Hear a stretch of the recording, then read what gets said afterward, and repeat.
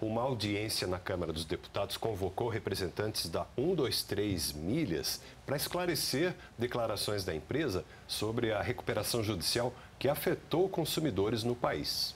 O ministro do Turismo compareceu e criticou a falta de comprometimento da empresa em responder dúvidas e apresentar fatos sobre a real situação dos pacotes de viagens pendentes. Braga. O ministro do Turismo lamentou a ausência de representantes da 123 Milhas na audiência da Comissão de Turismo da Câmara, que discute a situação da empresa.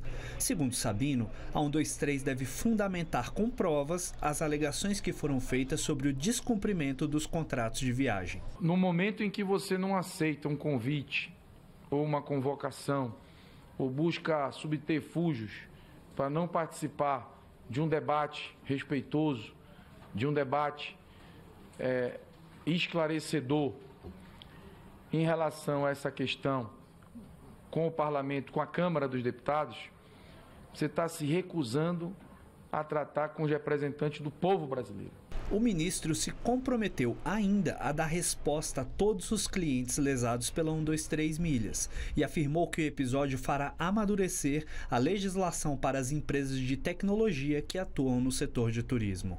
Esse caso não vai ficar sem a responsabilização de quem promoveu esses eventos.